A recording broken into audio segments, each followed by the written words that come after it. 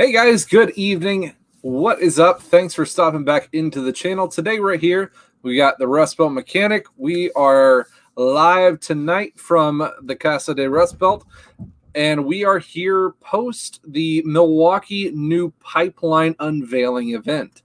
So, if you guys didn't know already, Milwaukee each and every year they do a huge like NPS press release event where they invite a bunch of YouTubers, press release people, media to be able to go over a lot of their brand spanking new stuff for the year. Uh, that was scheduled back in May, and as you guys know, the country is kind of just crashed down in for the beginning of the year, and everything kind of got canceled.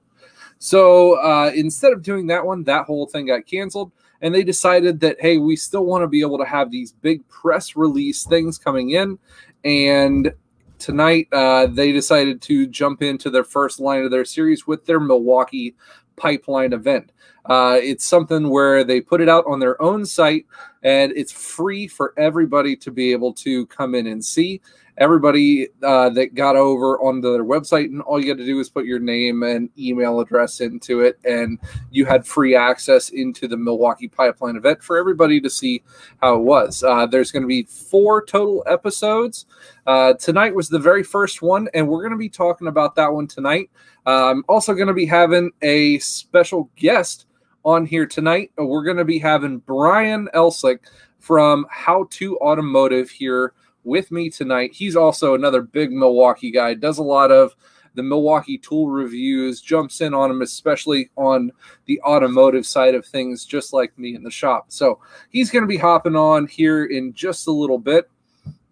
Uh, so we're just kind of waiting on everybody to kind of cruise in here and have him get set up. But if if you guys watch the event, let us know uh, what you guys thought about it in the comments. Feel free to start uh, asking questions about what you guys saw if you had seen it. Uh, if not, we're going to go in through pretty much everything that they had on the one hour ish long pipeline event from tonight, which was pretty eventful. They unveiled more things for the automotive stuff than I thought they would, at least on the very first opening event. So I was pretty impressed by that one. Mr. Joshua Brandenburgen here. Thanks for stopping in, buddy. Jonathan Maloge. Barnhorst, Stephen Doolittle. What's up, buddy? Nathan. Lots of awesome guys chopping in tonight. Was kind of hoping for a battery replacement for an air hammer. Well, that is the golden, you know, ticket to what everybody is hoping for. That that one last piece of shop equipment that still has not made it over really into the electric or battery market. I know um, I think it was um uh, I'm forgetting, drawing a blank, but somebody did a Bosch tool, I believe, a review on one that had some kind of a small air hammer like uh, thing on onto it. So kind of a weird one to that one, but uh, I'm sure Milwaukee eventually will come to it once they can figure out how to get it to work correctly. But yeah. yes, Milwaukee is pretty awesome. What do I think about the new Snap-on 14.4 die grinder versus the M12? I have not gotten to try the new brushless die grinder from Snap-on yet, but when I do, I will put that one through to the test as well. So here we are going to drop in with Brian from How to Automotive. How's it going tonight, Brian? All right. How are you doing? Can you hear me well? I can hear you fantastically. Awesome. Good deal. So you sat there, you got to watch through the the whole first episode of Pipeline, right? Yeah, I did. I watched the whole thing. Yeah. Cool. So and they had events as, as, well. What's that? I've been to the live events as well, so I can compare. Now that, that was the one thing that I missed out on tonight. Uh, you know, this year, unfortunately, you know they had even like all the tickets all sent out and everything, and I was I was all gung ho ready to go. And I know, I know, I wanted to go so bad. It's, it's such a great time because Milwaukee Tool lays out the red carpet for all their guests. It is an amazing event. I mean, it's, it's a three day event when you go to it, and uh, uh, including parties and bands and you name it, it's all there. It's it's a fun time. No, especially with a lot of their new new tools and things. I mean, you do get a sense of the the excitement and everything from the pipeline that they have tonight, uh, but it's just not quite there. Of like, hey, putting my hands on like the new tools and everything. I always love getting like brand new tools in the mail and everything. It's always great to get, but getting that first initial impression on it, yeah. Yeah. Well, the, the, the, pipeline event is very similar to the live event, except the, the main difference is you get to put your hands on the tools, like you said, and you have the engineers and, and uh, right there to answer questions uh, right there. So you so that that's the benefit of going to the event. But but they did a really good job of the event today. I, I thought so. I thought they definitely did. Uh, the first thing they kind of stepped in on and with, uh, they brought the CEO up into there, and he talked uh, a pretty good initial speech and everything uh, for from what they kind of came from from Milwaukee, where they went through um, some of the hardships that they had in the mid to late 90s when they were you know kind of slow getting into the whole NICAD game and everything but he did a really good job kind of bringing themselves in there Yeah, yeah.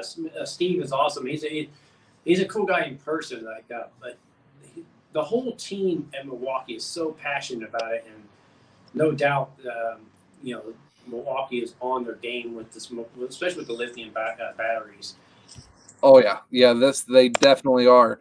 You know, with when the whole difference in the game came from around from NICAD all the way up until they jumped into the lithium ion scene, and Milwaukee just stole the stole the scene in that one. They ended up picking up the patents to pretty much everything. So anyone else right now who makes a cordless tool with a lithium ion battery pays royalties to Milwaukee, and that is got to be paying out massive right now. Oh yeah, it's huge. I mean, even Snap-on's gotten a little trouble with them for for not uh, Uh huh. paying to their patents. Yep. Exactly. yeah, they own that market for sure. Uh, they they're they're. I don't know. I don't know if they're the king because there, there's a lot of company out there like you. You represent SP Tools and they do a great job, and I've seen some of their tools. But but Milwaukee Tools, just the innovation that they have is you know it's just unbelievable. hmm So let's jump in. I've got another screen here to be able to go through each one of the things that they kind of went through here from the pipeline event. We can see the very first thing that they unveiled tonight was their new M18, the one inch D handle, uh, big boy impact. Now that thing looks killer. Yeah, two thousand pounds of torque. Oh my god. 2,000 foot pounds. Now, for the guys who are working on heavy equipment, I have quite a few guys who come in and they're uh, working with Caterpillar, a lot of excavators and everything, and they're you know just out on job sites constantly and having that large amount of power when they need it, where they need it. Uh, it's it's definitely key, and then having all the the other creature comfort things that are kind of tied in with it, having this thing with one key, uh, and the new. Did you check out the new lug nut mode? Yeah, that's pretty cool. Definitely cool. What, do you- Yep. what do you think of one key? Do you use that on any of the tools? So personally, I don't have. Uh, so on the standard ones where you can set the different torque values and RPMs, I like that for my students. So I like being able to set to that, like, hey, every time you use the on feature on this, I use it on our. Um, we got a mid torque impact. Hey, every time you're going on, you're going to use this one, and every time I've got the RPMs and everything set, it hits about eh, 80, 90 foot pounds. So you got a little bit of wiggle room to be able to uh, click it with a uh, click style torque wrench. So Yeah. I use that one, and then I just like having it for keeping track of my tools on the ones that I have, especially if I'm, you know, taking stuff to an event or like a big car show or something. Just that, I guess, extra peace of mind. Yeah, I, yeah. I think it's a great, great, uh, great feature. I don't use it a whole lot, but I, I like it. No, I don't either. Um, but uh, one cool thing that I did uh, end up u- kind of using with it, not me specifically, I ended up finding a tool on the side of a road at one point that had one key function, and it had the attachment for whoever already logged into it and everything. And I was able to call their customer service, and they connected the tool with who owned it. They came by the shop and was able to pick their Awesome. tool up. That's pretty cool. Especially when it was like a three hundred and some dollar um, impact. So I was like, "Yeah, you guys really want this one." Yeah, yeah. That's pretty awesome. Yeah, I like the feature that I do like the feature that you can lock somebody out of the tool. Yes. That's pretty cool. I mean, you just push a button and your coworker can now borrow your tool. That's pretty cool. Now, the thing that I was wanting to um, kind of see the difference in this one was their battery isolator uh, that they were saying that they were coming along with this one. Uh, let's see this one battery isolator. So with this one, and I'm, I'm hoping that they put this through to a lot of their other impacts and everything because that's one of the, I guess, main uh, gripes I guess I hear from some of the people is that the batteries are very sloppy inside of them and they have a lot of the impact and a lot of the hard hits transferred over from the tool while you're using it into the battery and it creates a lot of slop. So when you sit it down, it has that battery rock to it. Yeah, uh, I haven't noticed too much of that unless the tools I drop. I haven't gotten the slop from the, the actual use, but from droppage, I have gotten that. Right. Well, everybody's going to be a little bit rough on their tools. My, my, my tools that they've sent me, they have no paint on them. They're faded. They are beat up. I mean, I use them daily. Yep. Yeah, I I abuse the tools quite a bit. Plus, I've got uh, student automotive students that are in the shop with me too, so they're using the tools too, and you know they're they're not always the easiest on tools either. Yeah, yeah. But I just thought this was kind of a cool thing that uh, they have this isolator that's going to allow a slight amount of movement, but not going to transfer any of the uh, vibrations and stuff that normally, you know, kind of move your pins out and kind of allow the battery attachment to loosen up over time. So I'm hoping that they put this kind of stuff into what they're going to be seeing on the the entire M18 line. Yeah, that's definitely a cool feature. They, they they're always improving their stuff. You know, they they they um, they have so many labs. When like when you get to go see their their facility next year, hopefully next year, um, you'll you'll see all these these facilities where they're testing all this stuff, and it's it's pretty amazing. You know uh, what they're doing in the especially in the battery labs. In the battery labs, it- it's it's huge. And they're they're testing not just their brands uh, batteries, but they're testing their competitors' brands and and they're making they're making sure that they're one step above their competitors. Yep, they they definitely put a lot of time and money into research and development, as compared to a lot of other tool companies that I've you know seen and and uh, kind of worked with throughout the years. They put a ton into it, and I I think the biggest thing that I'm surprised most about is for as big as Milwaukee is. I mean, they're they're a pretty large company. How fast they're able to move along with the market and innovate. Yeah. Where I see, you know, just like in a video that I did here recently, some of the other big tool companies like Snap on on how behind they are in their innovation and how incapable they are of kind of pivoting to market changes and things in in the tool world. It's it's bad how slow they are really. Yeah, I, agree, especially with Snap On. They, uh, yeah, I agree. I, I, I like that video you made you made, and uh, I agree with you 100 percent on, on pretty much every topic you mentioned in that video. I know they do a lot of stuff right, and I'm going to have a video out on that too. But that was just one of the worst things that they have going for them is just their their sheer size. They aren't able to keep up with market standards, market changes with uh, what everyone is wanting and needing, especially this year in 2020. How quickly everything changes so fast.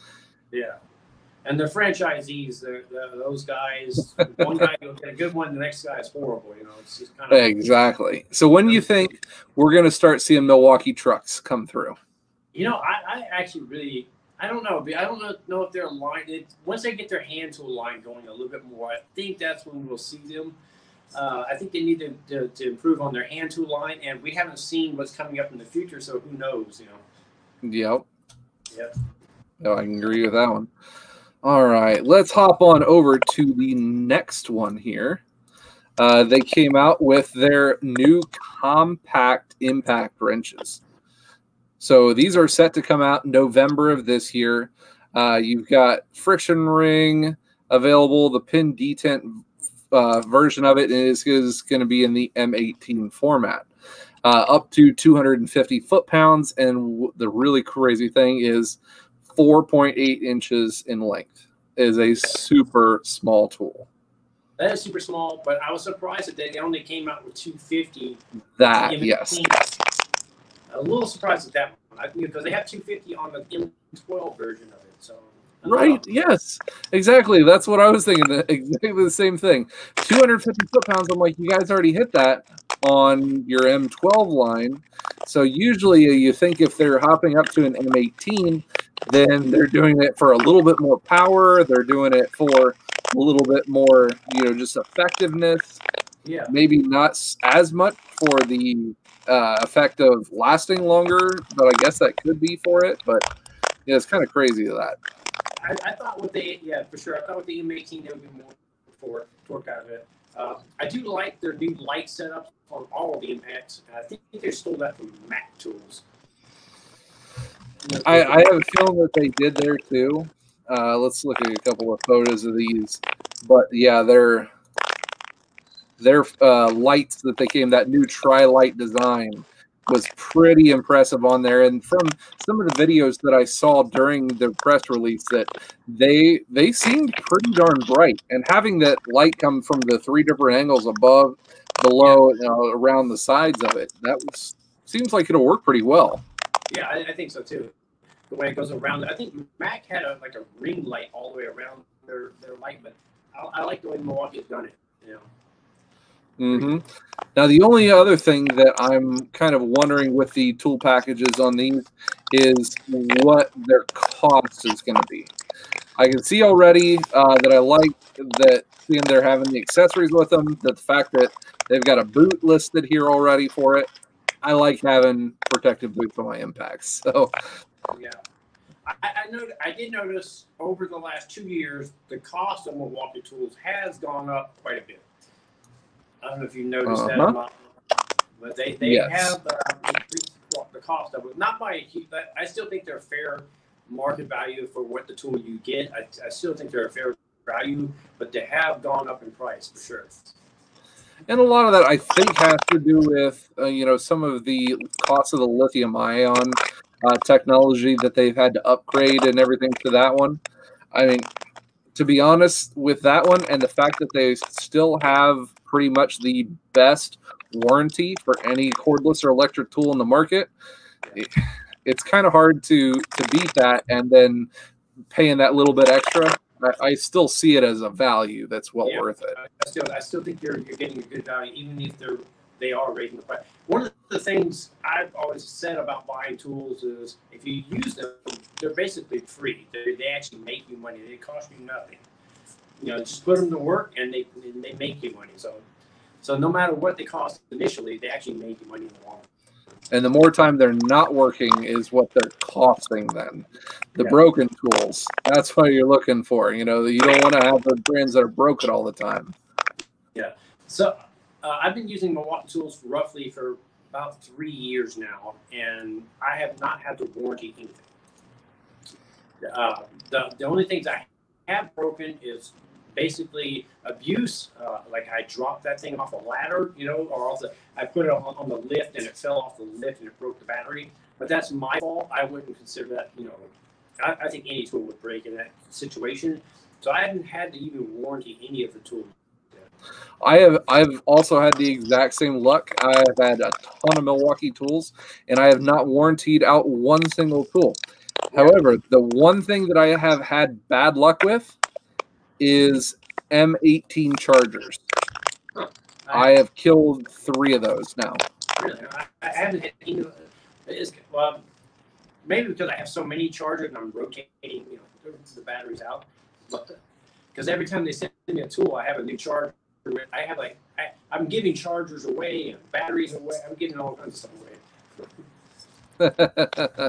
now I, I don't know if it might have something to do with it, but every single time that I've had one die, I don't have them plugged into a like regular power strip uh, behind my box. It's actually plugged into the power strip that is part of my toolbox. So I might need to look into that one. That that could be a possibility there too. I don't know. That's how I have mine set up too. They're in the power drawer of the toolbox. Yeah. Yeah, exactly. Now let's go to the one that everybody was kind of uh, loving about was the new mid torque impact, which I'm kind of on the fence about this one. I was hoping to see a little bit more out of this one. I know it was a kind of a whole redesign for a Gen 2 on your mid torque impact with it. Uh, it did go down in weight. It went up 50 foot pounds in the torque from what it had before. Still has all the creature comfort, weight, you know, savings and everything with it. Yeah. But I was, I think it's just lacking on torque a little bit more from what, uh, you know, the other manufacturers are having too. I, think they they change it more ergonomically. It looks a little more sleek uh, looking, and with the light, definitely looks improved for sure. Torque is about the same, roughly the same as the, the previous model. I think they did shave off a half or an inch of the length in total, is what they uh, they mentioned there in the uh, Yep. in the podcast. Yep, Um, they they shaved off an inch in that one. So if you think about it, though, shaving off a full inch of length, which that impact gun is pretty short, you know, you know already, um, and still keeping the same, roughly the same torque, I think they, they did a pretty good job. Uh, time will tell when we get it in our hands and put it to use, you know. Uh, Everyday Fleet Tech had a good question. How well do our M18 batteries retain charge when they are not used? Now, me personally, I always carry three M18 batteries in backup at my toolbox. Uh, between the Sawzall that gets used a lot, uh, the grinder that gets used a lot, and of course my half-inch impacts. So I've got three of those batteries pretty much ready to go all the time, and they get rotated in I'd say every two to three weeks, and I never have one that doesn't have showing full charge on the battery. Yeah, I, I can't really answer that question because I use them so much. They're rotating so often that, that I don't have them sitting stagnant, you know, charged and just sitting there. Because I, I have so many M18 uh, tools that I'm constantly rotating those batteries out of. But uh, I have not had any like I I don't I, I've never had an issue with dead batteries and downtime. Uh, They're, they're always charged and ready to go. Mm-hmm. That was a good one. But yeah, with this mid torque impact, I I like the fact that it still is coming with the the new lights, which I'm a huge fan of their their new light setup. I do like that one. It looks really ergonomic. The front face of it, how it's just split off, looks to be a little bit more compact. yeah, it Um, looks like they narrowed the tip a little bit too. Mm-hmm. Yep, narrowed that one down now. Uh, what I was wanting to compare it to uh, was what the one that I use all the time, and that is, you know, from you were talking earlier, I use SP Tools a lot. Well, their SP Tools mid torque impact that I use, uh, this has been like the golden standard for mid torques from what I've found for the last like year and a half. And from even what this one's being released at, this one still sits at seven seven hundred and fifteen foot pounds of torque. So pretty crazy amount. So we're still quite a bit more in torque. Um, plus, let's see if I can pull up this picture here. We can see that one. It weighs in at four pounds fifteen ounces. So we're one ounce less than what the Milwaukee one is coming in at. That is with a five amp hour battery on it as well. Uh, the length on that one, uh, they are pretty close to the same. Uh, the Milwaukee says it's six inches. This one comes in at like six and a quarter if you're measuring the entire anvil and everything with it too. So pretty pretty close there. The only thing that you're coming out on top of with the Milwaukee is uh, you are going to get the creature comfort of the one piece system, and you're also going to have uh, your you know selection of your different RPMs and speeds and everything. This one does have the variable trigger, but doesn't have the the selectable one, two, three kind of stuff.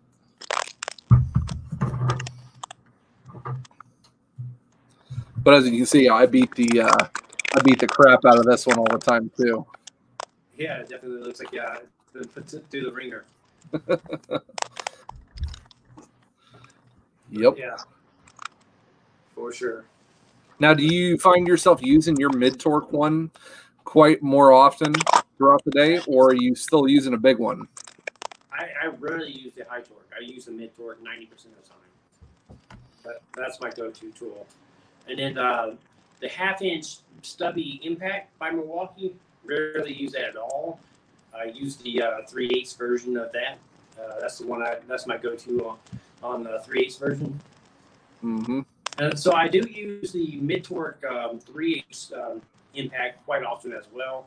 I just use that one mainly because I have more socket options, you know, wobbly sockets and, and torques and all that stuff, the 3 8 version. But when I'm doing suspension work or, or alignments or anything like that, I'm using the, the half inch drive. Yeah, that that was one of the things that I found was kind of a, a weird fitment to some of the tool lines. In the the stubby M12 line, just it was kind of odd using the half inch version of it. It was one of the things where the sockets just weren't the right fitment range for the torque that that one did. Same thing for that right angle impact that they just came out with. Having Yeah. that one in a half inch drive was just, I don't know, just out of place, I guess. I didn't even I didn't even request or ask for the half inch drive. I just went straight for the 3 8 That's the only one I Yep. needed. I got to, I had a buddy who ended up getting one, and I I said I'm glad that I didn't grab this because I would just have been kind of a waste, and I would not have used it. You know, you know, it's kind of weird. At first, I had like mixed feelings about the the right angle, and the more I use it, the more I like it. You know, it's it's kind of one of those. Uh, it doesn't take off every fastener that you try to throw it at. You know, it, it has its limits, and, and because of the, the thickness of the head, it definitely won't get into all the spots. But but you know, it, it, just like just something about that extra torque and speed. You know, like when you're using it in engine bays and stuff, it, it's pretty cool. Mhm. I, I Now, just like that. speed that's where i'm uh, really excited about seeing they they put a lot of uh i guess emphasis on the new speed of these things Yeah. uh, i was kind of looking for their actual release on their rpms here because i know the sp tool ones it runs at like 2300 rpm and i can see now the we are listed at 2575 rpm Yeah. so they are going up a bit quicker. Um, the when I did the had the mid torque test on one of the videos that I did, I think the most impressive speed one that I had done was uh, Mick Bake. He had one of the was it a DeWalt? No, I don't think it was a DeWalt. It was a Ridgid, the new Ridgid ones. Yeah. They are super quick on those. You, you know, quickness is, is awesome, but one of the features I like about Milwaukee Tools is that that level number four, where you rip you rip that bolt free and it slows the RPMs down.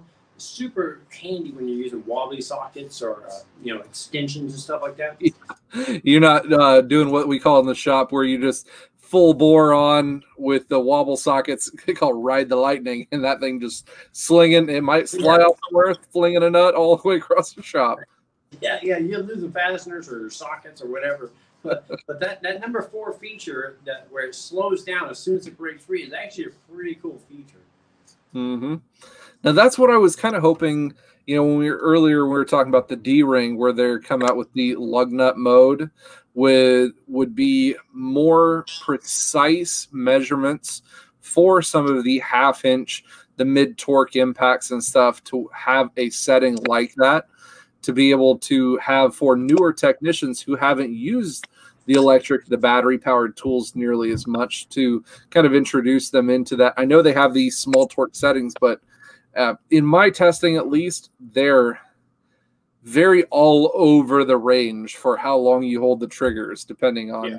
that to what they actually torque to Yeah, and there's a lot of things that vary from like Loctite on the threads or whatever, or rust on the threads that can change the torque settings. So, you know, yeah. But I think I think having that option where it gets you in the ballpark and then you can use a torque wrench, oh, you know, afterwards is a is a great feature, especially for you, mm-hmm. you know, for new technicians. You know, Yeah, the new technicians, when they come in, they are very green to using even air tools. So, especially if you, are one of the guys who throws one of the the high torque monsters into a new technician's hands. yeah, they're hammering on that lug nut. I was like, whoa, whoa, buddy, back it down. Yeah. Yep. So that's pretty impressive to be able to have all those features and that the the fourth mode feature on that one is definitely something that I I think is going to be spreading across into a lot of the other manufacturers. At least I hope so in the technology moving forward. Uh, something that's definitely needed.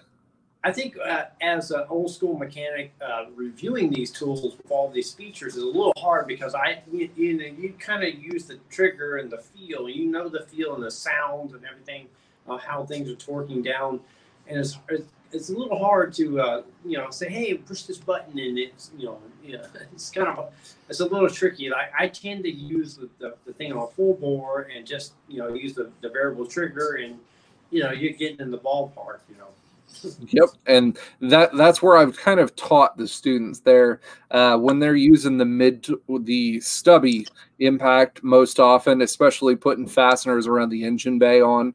I'm like hey when you're anything here on top of the engine we're and you're never holding the trigger on the impact portion more than a second to a second and a half. Yeah, yeah. never more than that and, and that's the thing that comes with experience with using the tools and, and breaking stuff. You know, you get you have to break a few bolts, you know, to really know. Unfortunately, yeah, yeah. yeah. No, I know that using like this one, I, I tell them I'm like, all right, well, me when I use it on the full bore, I I'm bringing a lug nut in until it hits the one, maybe the second hit, and I'm at 90 foot pounds, yeah. and it's that almost every single time.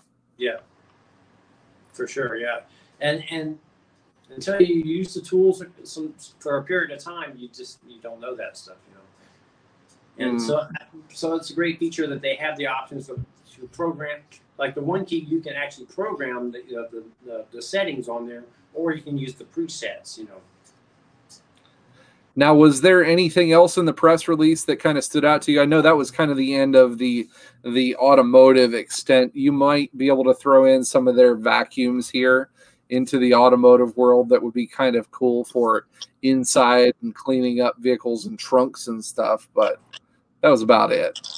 Yeah, as far as automotive, that was about it. Um, and I know they're going to come out with because um, I saw in one of the uh, M12 pictures there was some funky looking ratchets. I haven't gone back and looked at them, but uh, they look like there's some different new stuff in there. As far as the back, the, the vacuums and stuff like that, you know, I think you know I think a vacuum is actually a really handy tool, especially when you got rodents and stuff like that in the engine bays to, to vacuum that, that stuff up when you take an intake off or something like that. So some of these tools actually be pretty handy to have. Uh, was it the uh, the compact vacuum here, the M18 fuel, the one where mm. you could change out all the adapters and stuff? That one was yes. pretty cool. I like that one, but I also like the M12 one because of everything that they had for this one was all able to be stored inside one box, one container. So I could have this one single box put into my toolbox and have the hose up here, the attachment, the battery, and everything all within that one station and be able to be held and not taking up all of my, uh, I guess, my storage room and everything too.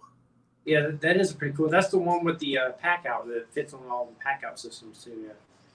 Mm-hmm. Yeah, that was really cool that they're they're making everything to be able to, I guess, fit a lot easier onto the pack outs. Yeah, the, the pack out system is pretty cool. I mean, it's more designed for the, the construction workers or the right. carpenters, but but I have some of the the pack out cases and stuff, and um, and I use them to store uh, nuts and bolts and fasteners for, for pullers and stuff, and it's pretty cool. Yep. They're pretty cool system. I use them at home for a lot of screws, drywall screws, decking screws, and everything. Yeah. And uh, definitely looking into having some more of those for at work for bolts and nuts and uh, extra lug nuts and studs and things like that. I need to do You're more. mechanic that's pretty pretty cool setup because you can wrap, you can mount them on the walls of like your van or whatever. Yeah, yeah, it's pretty cool setup. They definitely have uh, pretty cool stuff. Now, moving forward, I know Milwaukee's going to be having uh, three more events, and I have been told that out of the four total events, there is a pretty good automotive sense in three of those. So I, am thinking the third one, I, am not sure if that's the one they were talking about. It may not have a, as much in the way of automotive things, but they're going to have a lot more unveiling. What are you hoping to see in in these lines coming out? Uh, the the biggest one I've seen that people are, are requesting or hoping for is battery jump packs. Uh, I think that would be a, go, a cool one if they can come out with a cool battery jump pack. Um, you know, as far as the hand tools and maybe impact sockets, a set of impact sockets yeah, they they are quite lacking there. They've been coming out with a bunch in their blade line, especially with their you know technology and the steels and everything that they're using in the blades. I wouldn't think that carrying that over into good impact sockets, especially if they you know broke into a good wobble socket kind of realm, that one's lacking quite a lot these days. You're either spending like a hundred, hundred and fifteen dollars, and there it's a crappy set. It really is or you're spending like four hundred dollars on a really nice set. Yeah, I have the um, Milwaukee Tool wrenches, and I retired my Snap-on wrenches just to solely put these things in the basin, and I can honestly say they're they're a solid wrench for the money. You know, mm-hmm. and um, you know, I hope they come up with different designs and and and they expand their wrench. You know. Uh, their arsenal. You know, I, think, I think they they have a pretty good wrench, especially with their little what they call max bite, where they have the little teeth on it. Um, yes, I, I, got to try those out. The only qualms that I had was, boy, even on like newer vehicles, those wrenches could really chew up some fasteners if you don't, you know, weren't careful with what you were doing. Yeah, the max the max bite they do they do bite into the bowl. You don't want to use them on fasteners that are like aluminum or or like AC lines those, those aren't the wrenches for it, but but uh, you know your your brake calipers or or, or mm-hmm. a water pump or something like that. You know, it's definitely a, a good wrench to use. I use them every day. Um, I, I, have no problem with those wrenches. Um, the only thing I would I would say that they uh, lack in is they're a tiny bit shorter than your like a, a snap-on wrench, and that that little and they're like a quarter inch to a half inch shorter than snap-on and that that actually makes a big difference. Uh, so I, would, I hope they would come out with longer wrenches in the future. hmm Yeah, that'd be that'd be cool to see those. Uh, what I'm kind of hoping for is the long-awaited redesign on the electric ratchets. They need to get those heads on the fuel lines smaller. I'm I'm hoping that they bring that down. That's the you know the only hated part that I've seen so far off of those is just you need to make your the heads of the three eighths ratchets and quarter inch ratchets smaller. Well, I, I will say their extended reach ratchets it, was a big improvement over their, their last model, and uh, I think they're heading to the in the right direction. Right, yeah, going in the right direction there. That was one thing that I actually Snap on has totally, I guess, kept up on in the market was the electric ratchet. Their Brute series that came out 72 foot pounds for both the short and the long reach ratchet. It's that was a pretty crazy move. But the price difference is is the key. Massive, twice as much. yeah, right yep, exactly. It, it, was quite a bit more. But like you said earlier, with some of the things that, as long as you're using the tool, it is making you money. And if it's working in a better sense, paying for itself more often in the professional area. Yeah, I agree. It doesn't matter what the price of the tool is, as long as you're using them on a daily basis, they're actually making your money or making your life easier, then it's worth it for sure. Mm-hmm. And it doesn't matter what brand that is. Yep. The only other thing that I'm really hoping to see was this last year they had unveiled the M12 version of the electric torque wrench. And that really wasn't put out for the automotive mechanic sense, more for the electrician, because it only went up to what, like 90 foot pounds, something like that at most, and didn't have a real good range to it. Yeah, I think it was the half inch drive went up to 150 foot pounds, which uh, or was it 100 or 150? I'm pretty sure it was 100. 100. Okay, yeah, yeah. I think you're right. I think it was 100 foot pounds, and but it, it had the yeah, I think it's definitely made for the um, utility service. Uh, I think if they just delete the ratchet portion of it and just make a torque wrench, I think they would have a winner. Because the features of how to use the torque wrench were really, uh, really easy, and you know, it had a really nice setup, the screen on it, and everything. So I think they just need to lose the ratchet for the automotive um, industry and just make it a standard torque wrench with, with, and add the uh, the one thing they did not have was the uh, the flex head the, or the semi flex head. And, and they, if they add that, lose the torque, the uh, the ratchet part of it, I think they'll have a, a winner on their hands for sure. I could see that, or even coming out with two versions of it. Me personally, I I would love to see the ratchet portion of it uh, mostly just for bigger applications. Uh, some of the 25, 3500 trucks that we work on uh, for the wheels and for the hubs, especially you're getting those 10 lug things on there. We're starting them by hand, bringing them in, and you're if you're able to do that and do your repeatable torque and bring each one of them in together, I think that would be something kind of cool to see. Yeah, and also the the ratchet, the uh, torque wrenches did not have angle on it. They have to add angle Oh, yeah, that's a big. You have to have that. You have to have that for automotive use for sure. Mm-hmm. Yeah. Outside of that, there's not really much else that I could think of that I was really hoping for, other than just maybe some more torque for. Uh, ho- hoping that we're going to see a new redesign also on the M12 stubbies come out, obviously with your new three light setup and uh, maybe some more speed on those as well. You, you never know. We don't know what's coming up in the next three episodes, so mm-hmm. we could see some of those improvements. Maybe a really nice, um, you know, the, the the quarter inch version having a real tiny quarter inch stubby that's like a super compact one. I think would be really cool for inside and dash work as well. Yeah, yeah. So, uh, question: Do you prefer the the uh, quarter inch drive or the quarter inch or the, the, hex drive for a dash work? I have hex drive. That's what I prefer. I prefer the hex drive for dash and interior work, and then the the uh, the uh, the the anvil, the quarter inch anvil for like engine bay and stuff like that. You know. I actually don't own a quarter inch anvil drive one. Oh my god, that that that that tool I, I own that tool, and that's probably one of my most used tools for engine covers, shields, all that stuff. You know, that's the one I use, every, you know, on a daily basis. I don't know. It's, I still use my hex drive one for for most often for that. Whereas if I'm going something that that one can't handle, I'm jumping up to a stubby M12 three eighths. yeah, it, it, you know it's, it's crazy how it's all preference. You know, for one guy will hate this tool, and the next guy will love it. You know? Yep, I, I just thankfully that they've stepped up the market for the mid torques because uh, before they had those come out, man, lugging those eight pound, you know, high torque impacts around because you had to have that, you know, in your arsenal to be able to handle some of the big things that just won't come apart. You absolutely have to have it, but you know, lugging it around all day, boy, that that makes it bad.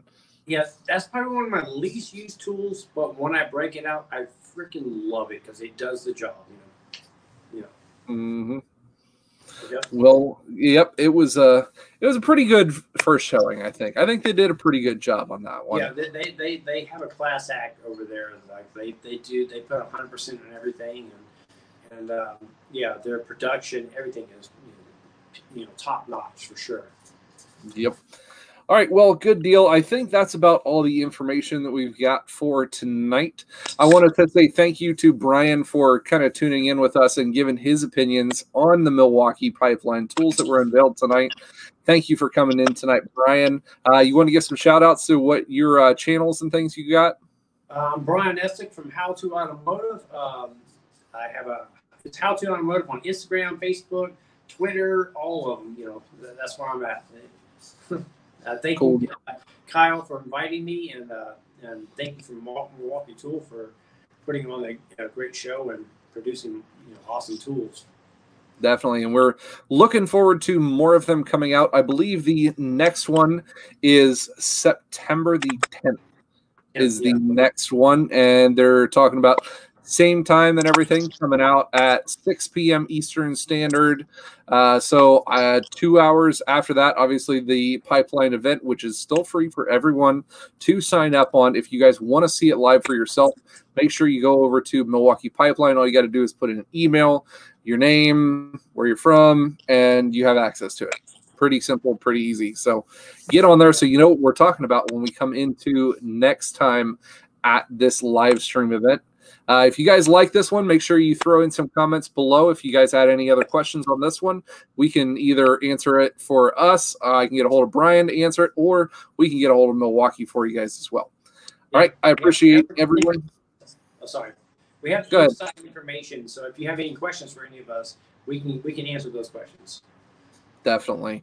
And like I said, they're an easy company to be able to work with and get a hold of and everything. So well, they're going to be having a lot of uh, good information, a lot of good tools coming out here soon. All right, guys, appreciate everyone tuning in tonight. I uh, want to see you guys here the next time, so make sure you put it into your schedule for September the 10th at 8 p.m. Eastern Standard Time. We'll go. We'll be going live for that one. Lots of new stuff coming up here in the next week, so stay tuned for that. Appreciate it, guys, and you guys stay awesome.